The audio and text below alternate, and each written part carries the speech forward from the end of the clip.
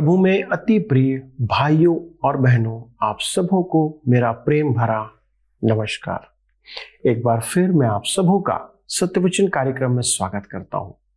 हम इस कार्यक्रम में निरंतर परमेश्वर की महान योजना को, जो उसने मेरे लिए और आपके लिए बनाया है, पवित्र शास्त्र से अध्ययन कर रहे हैं और सीख रहे हैं। क्योंकि जब हम किसी भी योजना को भली भांति समझते हैं, जो हमारे लिए है तो हम उसे अपने जीवन में लागू करने का प्रयास करते हैं। परंतु यदि हमें उसका ज्ञान ना हो तो हम क्यों कर उसे अपने जीवन में लागू कर पाएँगे? इस अध्ययन में जो बात हम कर रहे हैं, वो आपके अपने जीवन से जुड़ी हुई है और जो योजना है, वो उस परमेश्वर की है जिसने आपको मुझे बनाया है। तो ये ना सिर्फ़ हमारे लिए एक उत्तम बात है, परंतु एक ज़िम्मेदारी पूर्ण बात भी है।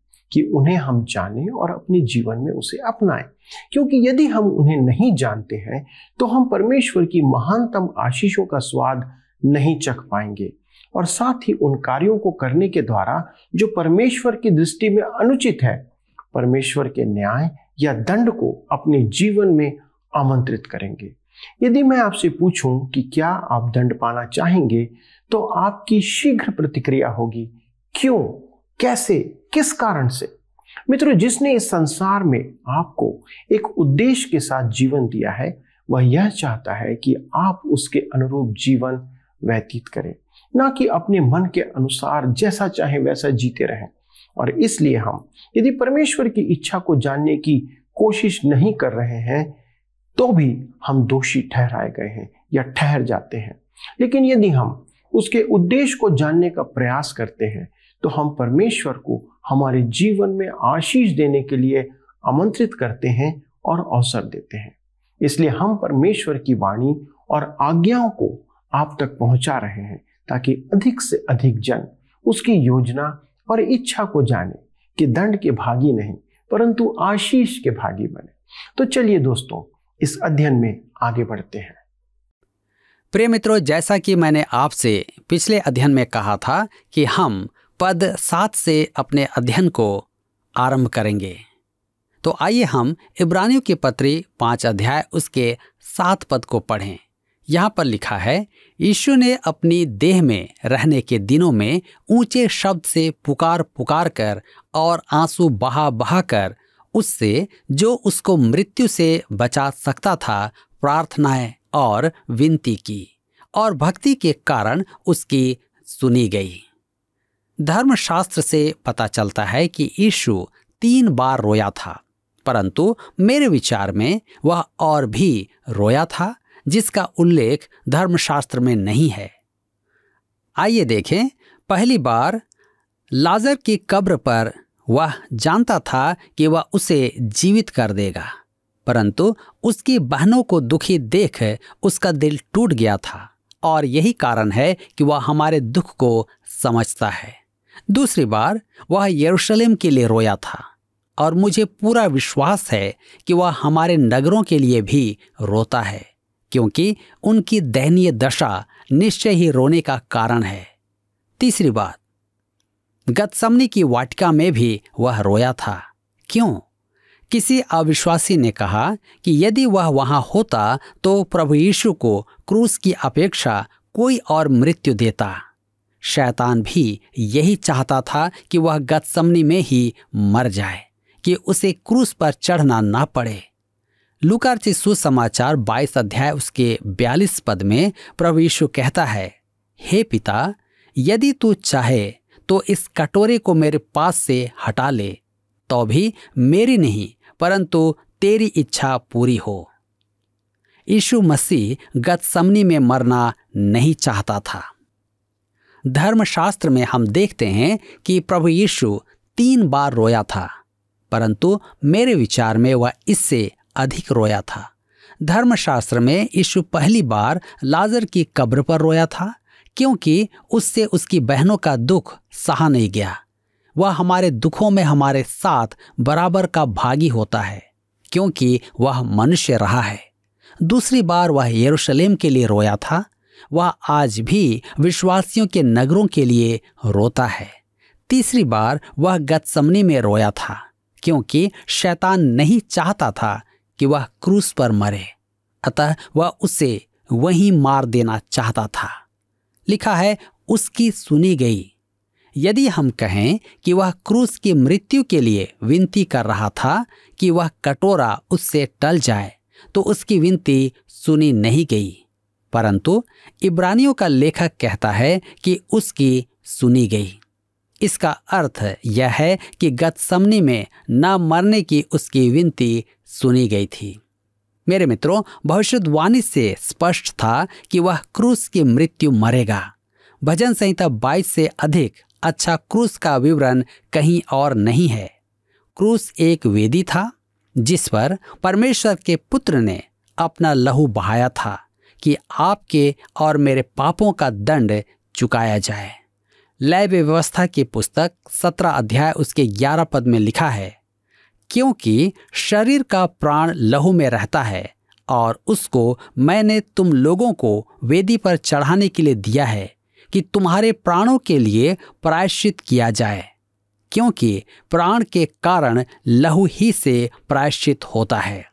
ध्यान दीजिए, पुराने नियम में पशुओं का लहू पापों को केवल ढांकता था, परंतु प्रभु यीशु का लहू तुम्हारे प्राणों के प्रायश्चित के लिए है। प्रभु यीशु ने क्रूस की वेदी पर लहू बहाया था। उसने यौनर्ची सुसमाचार तीन अध्याय उसके चौदह पद में निकोदेमुस से कहा था कि जिस प्रकार मूसा ने जंगल में सांप को ऊँचे पर लटकाया था उसी प्रकार मनुष्य के पुत्र का ऊँचे पर लटकाया जाना आवश्यक है। मेरे विचार में उसकी प्रार्थना यही थी कि वह गतसमनी में न मरे। यह उसकी मानवीय प्रार्थना थी, क्योंकि वह रो रहा था और उसका लहू पसीने की बूंद बनकर टपक रहा था। क्रूस के निकट वह मृत्यु के मुँह में जा रहा था। अतः उसने प्रार्थना की कि वह मृत्यु से बचकर क्रूस तक पहुँच जाए। और लिखा है कि भक्ति, अर्थात भय के कारण उसकी सुनी गई। मित्रों, हम देख चुके हैं कि भय सदैव बुरा नहीं होता है। कुछ बातों में निर्भीक होना भी असामान्य है। मेरे विचार में हमारी कलिसियाओं में कुछ और भय होना चाहिए। हम में परमेश्वर का भय होना चाहिए। क्योंकि वह बुद्धि का मूल है। प्रभु यीशु भयभीत था। इब्रानियों की पत्र पाँच अध्याय उसके आठ और नौ पद में आगे लिखा है, पुत्र होने पर भी उसने दुख उठा उठाकर आज्ञा माननी सीखी और सिद्ध बनकर अपने सब आज्ञा मानने वालों के लिए सदा काल के उद्धार का कारण हो गया। लिखा है, और सिद्ध बनकर, अर्थात परिपूर्णता प्राप्त करके। सदा काल का उद्धार, उसका उद्धार अनंत है। यदि आपका उद्धार कल चला जाए तो वह अनंत नहीं है, वह कुछ और है। प्रभु यीशु द्वारा दिया गया उद्धार अनंत होता है। सब आज्ञा मानने वालों के लिए आज्ञा मानना क्या है? यीशु से एक प्रश्न पूछा गया था। योहनार्ची सुसमाचार, छह अध्याय, उसके 28 पद में। उन्होंने उससे कहा, परमेश्वर के कार्य करने के लिए हम क्या करें?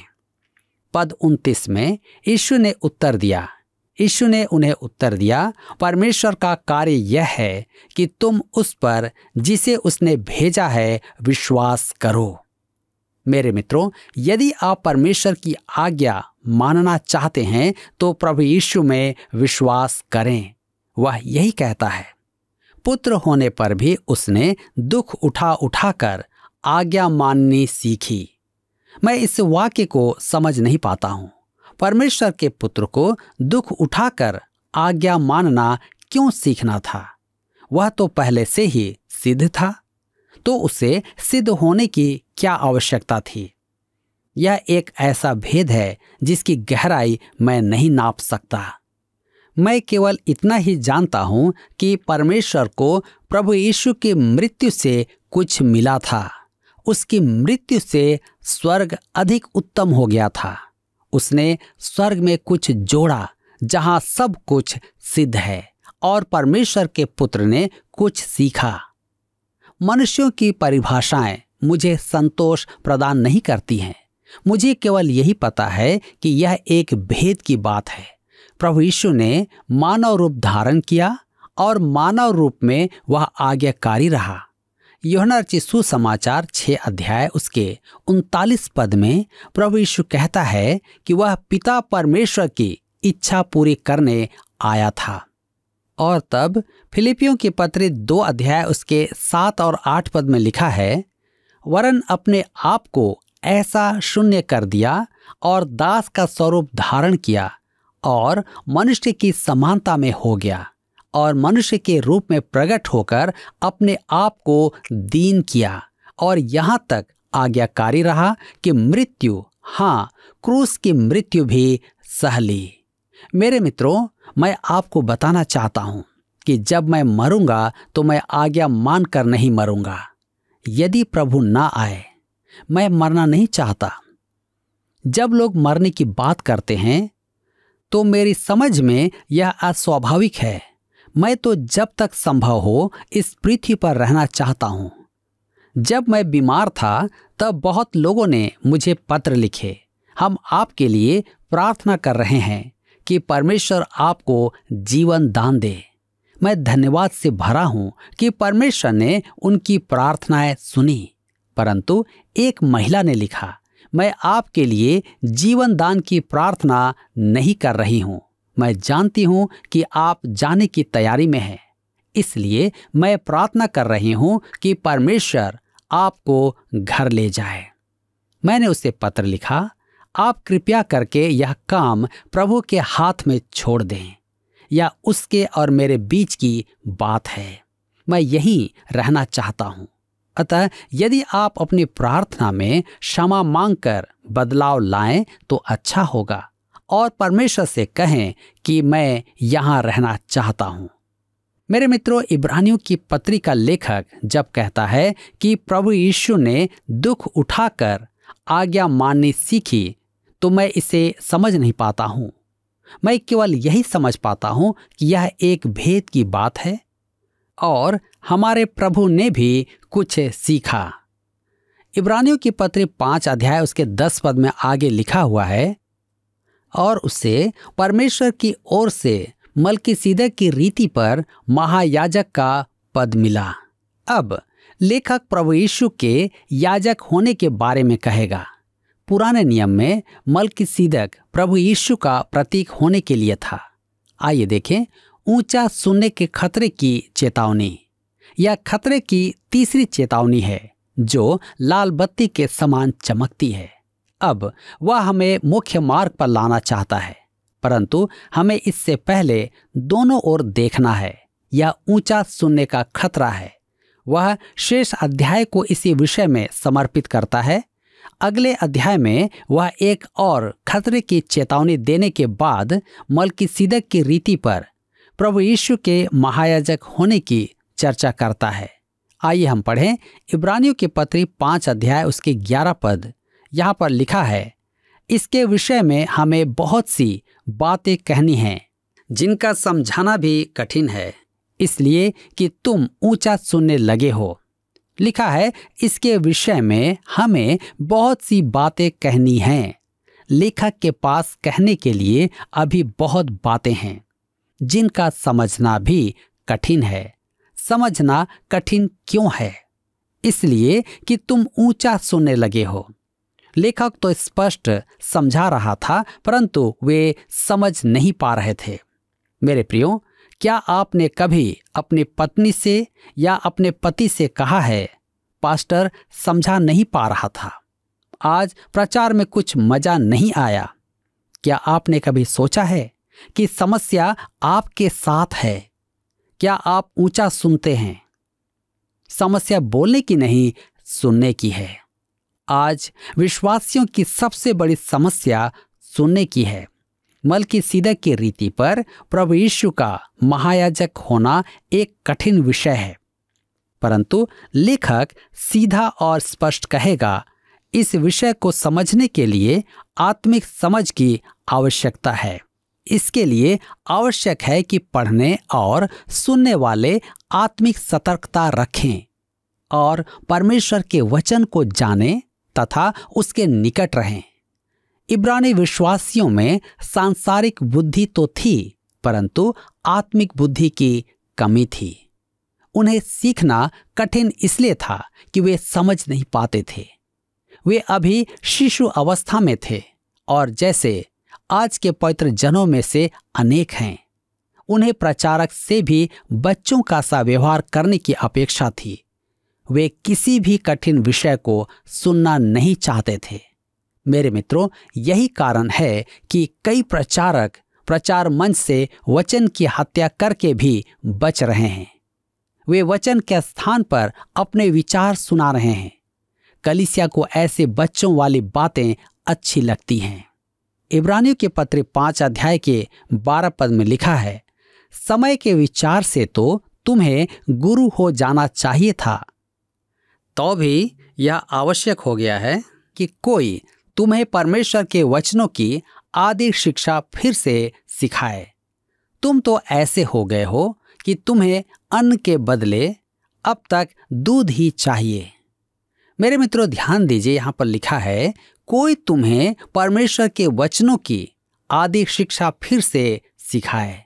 आदि शिक्षा के लिए यूनानी शब्द का अर्थ वास्तव में अनु है, अर्थात मूल तत्व है। इन्हें हम मसीही जीवन का क, ख, ग कहते हैं।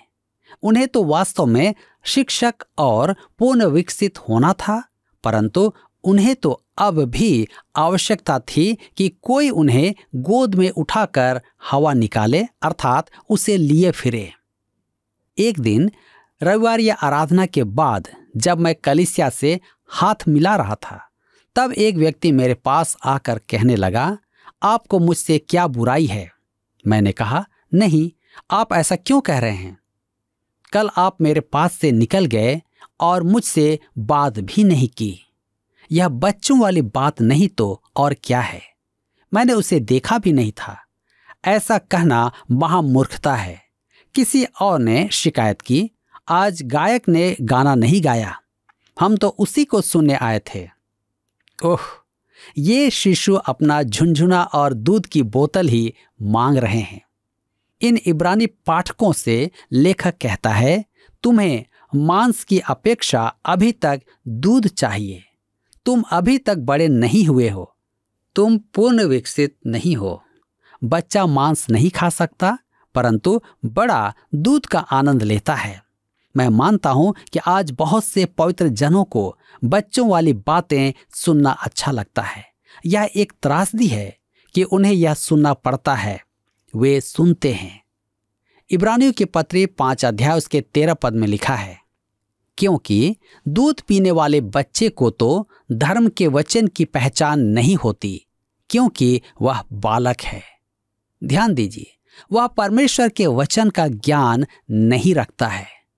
मेरे मित्रों, मैं आपके पाँव कुचलना नहीं चाहता, परंतु मैं आपका सहायक बनने की इच्छा रखता हूँ। आप परमेश्वर के वचन से हटकर आगे नहीं बढ़ सकते हैं। आप कलिसिया में कितने भी सक्रिय क्यों ना हो। आप कलिसिया में पदाधिकारी होंगे। आप कलिसिया की हर एक समिति के सदस्य होंगे।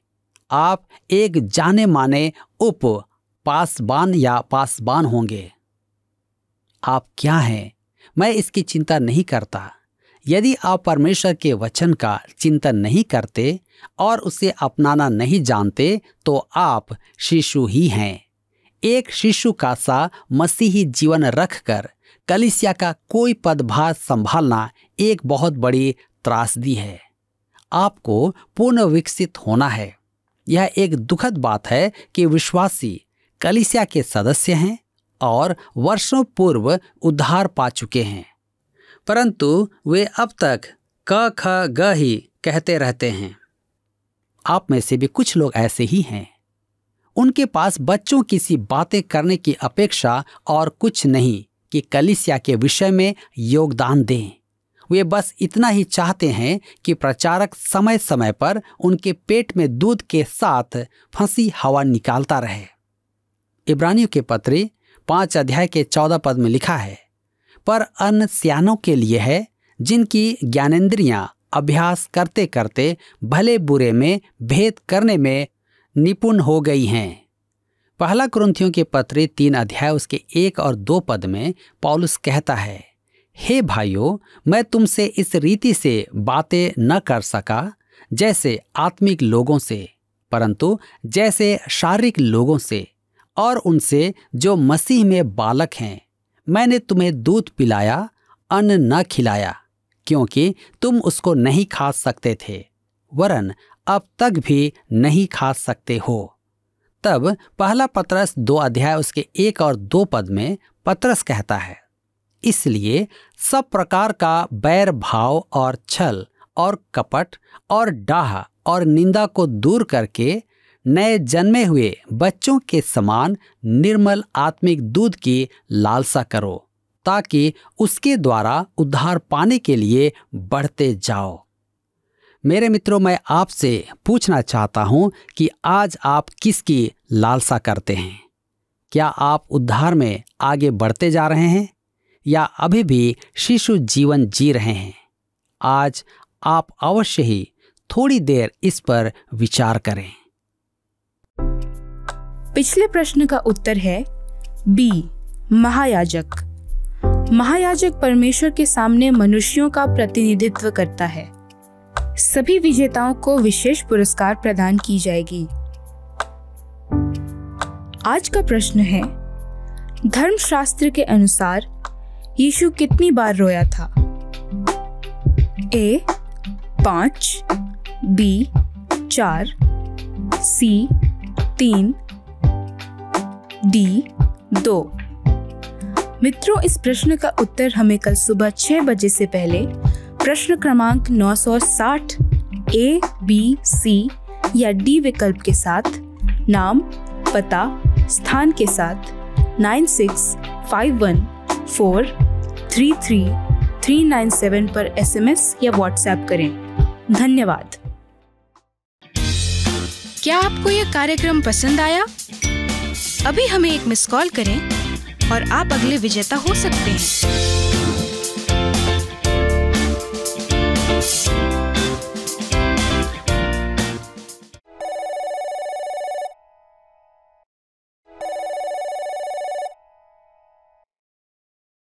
दोस्तों, आपने देखा कि इब्रानियों की पत्री के माध्यम से परमेश्वर का वचन हमें परमेश्वर के उद्धार की अद्भुत योजना को हम तक ला रहा है या प्रकट करता है। यदि परमेश्वर का लिखित वचन हमारे साथ ना होता तो हम परमेश्वर की योजना को कभी नहीं जान पाते कि हम उसकी अनंत योजना में शामिल कैसे हैं।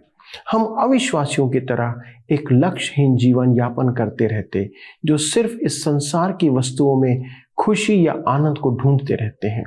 परमेश्वर हमें उससे उत्तम आनंद देना चाहता है।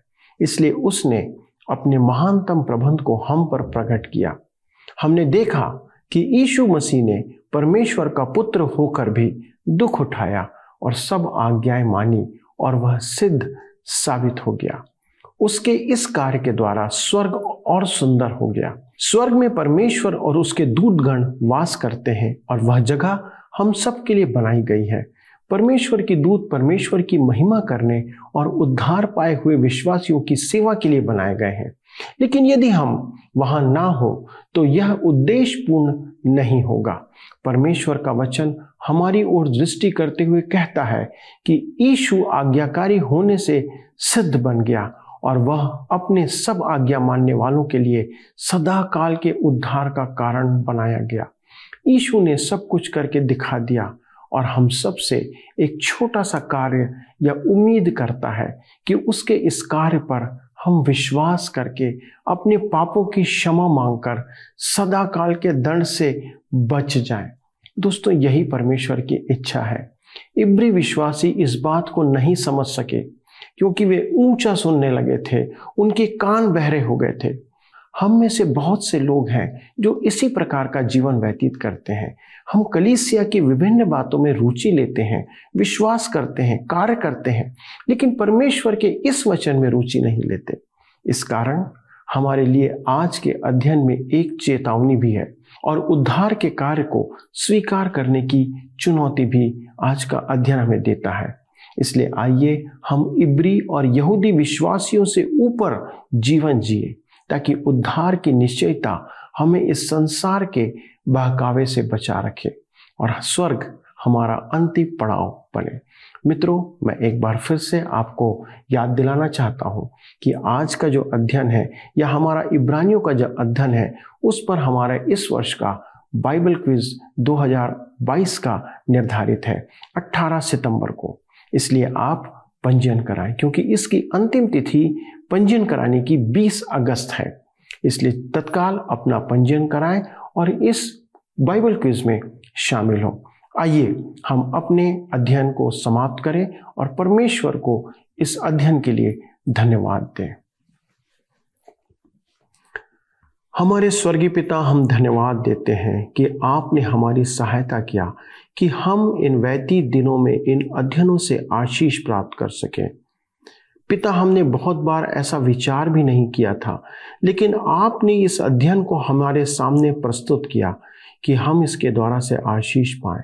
हमारे कितने ऐसे दर्शक हैं जो अनायास ही इस कार्यक्रम में शामिल हुए, लेकिन ये आपकी योजना थी और उसके द्वारा से वे आशीषित होते आ रहे हैं।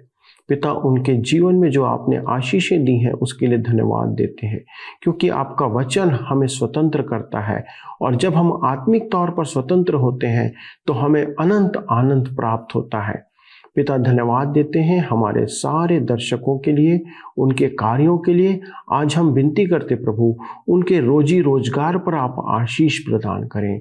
जो ऑफिसों में कार्य कर रहे, जो व्यापार कर रहे, जो शिक्षक हैं, जो किसी प्रकार से चिकित्सा विभाग में हैं, जो अन्य प्रकार के कार्यों में, कंपनियों में काम करते, हमारे हर एक दर्शक के लिए हम प्रार्थना करते प्रभु। जिस भी कार्य में है, चाहे वे बच्चे पढ़ाई लिखाई के कार्य में हैं, जो कॉम्पिटिटिव एग्ज़ाम की तैयारी कर रहे हैं। प्रभु सबों पर अनुग्रह करें, उन्हें तरक्की प्रदान करें। उनके लिए प्रभु आप अनंत काल का मार्ग खोलें और इस संसार में भी प्रभु आप उन्हें उन्नति प्रदान करें, ताकि वे आपकी हर एक आशीष को प्राप्त करके आपकी ओर से अपने आशीषों को अनुभव करते चले जाएँ। धन्यवाद देते पिता प्रार्थना को सुनने के लिए और प्रभु यीशु क्रिस्ट के नाम से इस विनती को मांगते हैं, इसलिए सुने और अपनी महिमा के लिए ग्रहण करें। आमीन। दोस्तों, यदि आज के अध्ययन के ऊपर आपके पास कोई प्रश्न है तो कृपया हमें फ़ोन करें, एसएमएस करें। यदि आपको आज का कार्यक्रम अच्छा लगा तो प्लीज़ एक मिस कॉल आज हमें करें। और यदि बाइबल क्विज में आपने अब तक पंजीयन नहीं किया है तो कृपया आज ही अपने पासवान से संपर्क करें और पंजीयन करें। अगले प्रसारण में आपसे फिर मुलाकात होगी। तब तक परमेश्वर के वचन पर अध्ययन करते रहें। प्रभु आपको बहुत आज से आशीष दे। नमस्कार।